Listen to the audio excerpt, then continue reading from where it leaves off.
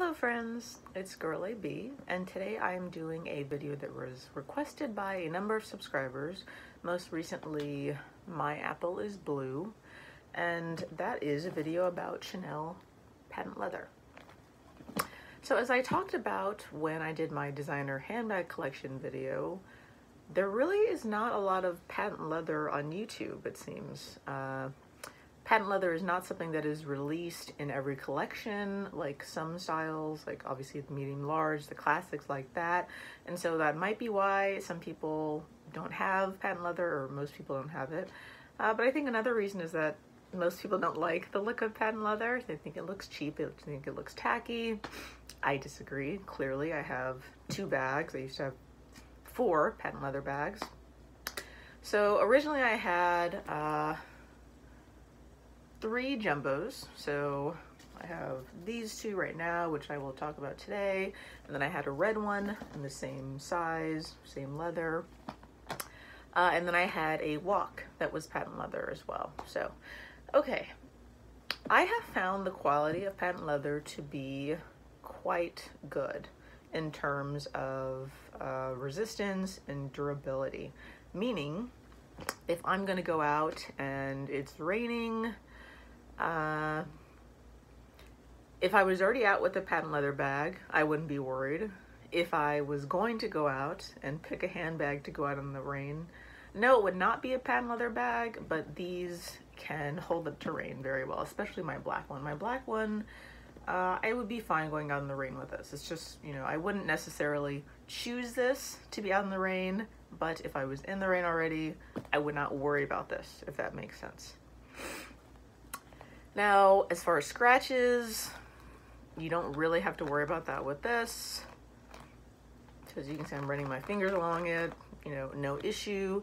Scratches like that, uh, meaning light scratches that you might make yourself accidentally or uh, things that you might snag your bag on, that's not something that you need to worry about making a huge scratch.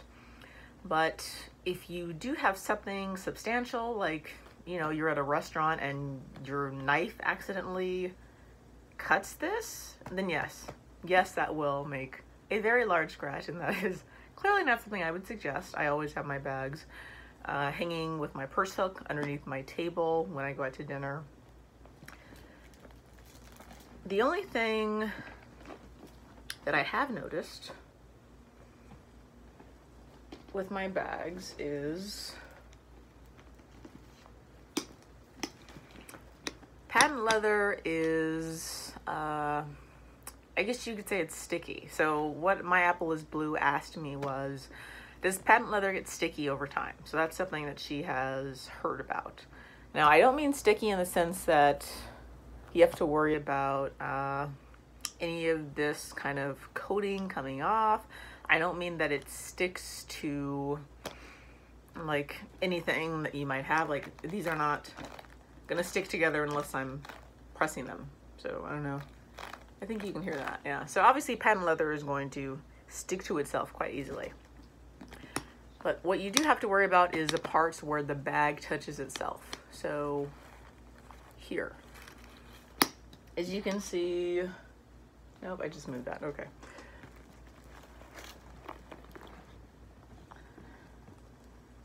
Now, can you see that around this lock there is a slight kind of blackish color.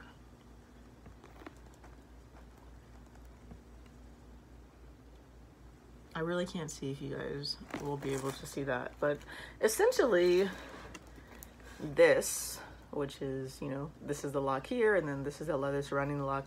Essentially, this leather surrounding the lock has made an imprint around the lock down here. And so it is a pretty light black color that obviously you're not gonna see if this is closed because it's covering itself. But when you open it, yeah, you'll see it. So, uh, it is annoying I no one told me that this is something that I should worry about. I, I really don't think it's something that you could change because while you could, you know, put something like this, like the felt that comes with the bag, you could put that in there when you store it so that it would look like this. But you know, when you're wearing the bag, obviously it's going to be closed. And so is going to be touching as long as it's closed. So there's really, unfortunately, no way of getting around that. And that's just something that you have to worry about with a lighter colored bag. Because with black, you know, it may, there may be some kind of indentation or coloring around there, but I can't see it because it's black. So, so perhaps if you want to avoid that and you do want to add a patent leather bag to your uh, collection, then you would probably want to go darker colored. Okay, uh, that is really the only negative. Um, the other thing, I guess, that would be a negative to some people is that because patent leather is, in a way, it's softer. I have seen this happen. So right there, there's a little bunching, a little wrinkling, I guess you could say. So when I put stuff in there and then I close it up, but you know, that's, I've seen that happen on my, uh, my medium, my medium large flap as well. So I think that's just kind of something that happens with Chanel because it has these different layers of uh, closures. So. Now, uh, another thing that the subscriber asked about was uh, weight. So our patent leather bags, heavier or lighter than other leathers? I would say they're definitely lighter. So this is a jumbo. I decided not to get a jumbo in uh, like a caviar leather um, because they were too heavy. I mean, uh, I'm a relatively small person and I don't usually get super large bags, super large shoulder bags. And so the only reason I felt comfortable getting these is because they are very light. So of course there's nothing in here other than padding and it's super light. But even when I stuff these, they're still pretty light. Uh, whereas the only other Chanel bag I have of comparable size is my uh, Chain Around Maxi, which is lighter than Caviar because I, I believe it is deerskin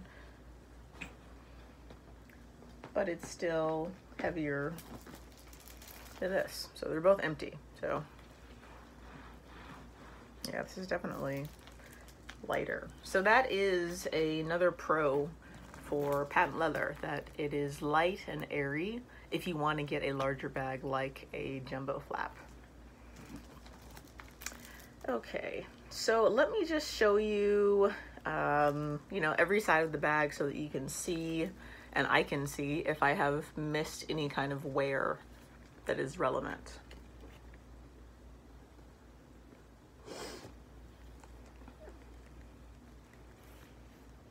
Think these sides look very good. I have certainly hit these corners on things when I've been walking and you know they still look very good. I've gotten a lot of compliments on this bag when I'm wearing it. I think because it's a color that you just don't see very often. Of course, a lot of people have the medium flap or the jumbo in a similar beige color, color, color, but in uh, usually in caviar leather. So it looks different in patent leather. And I think it, I think it looks prettier, honestly. That's why I own this bag, obviously. Okay.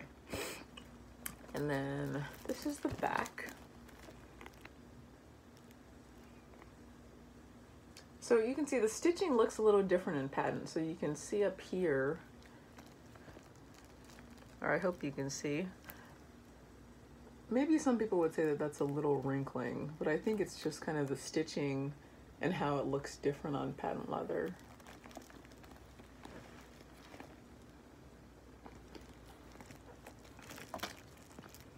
It's the other side. I think this is the other side. Maybe this is the other side. this side has uh, maybe a little more wrinkling, Still, the corners look very good.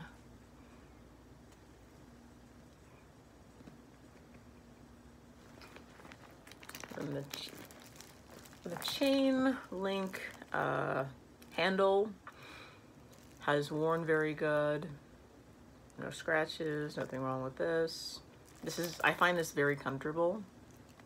Much more comfortable than uh, my, sorry, my medium large flap.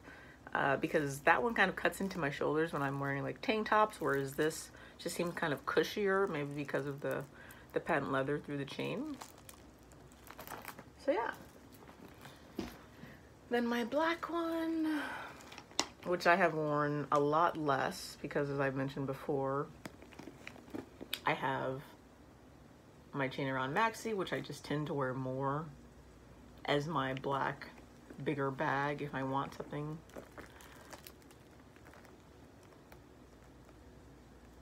So yeah, this bag is pretty, pretty perfect.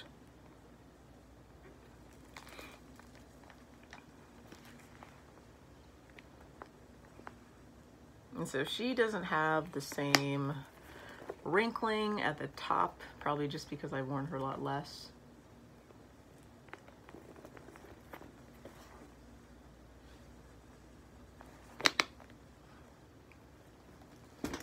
So yes, those are my two Chanel patent leather jumbos. So please let me know if you have any questions about patent leather. I would be happy to answer them about quality, uh, I've had these, I don't think I said that I've had these, gosh, it's 2019, you guys, that's so crazy. I think I've had these three, four years. I got a lot of bags at once uh, several years ago, and so when you hear me say the years that I've had most bags, it's almost the same for all of them. So yeah, these are three or four years old, and I think they look great. So yeah, let me know if you have any questions.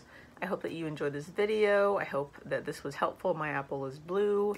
And thank you, as always, for liking, subscribing, and commenting. I always enjoy talking in the comments. Thank you so much. Okay, bye.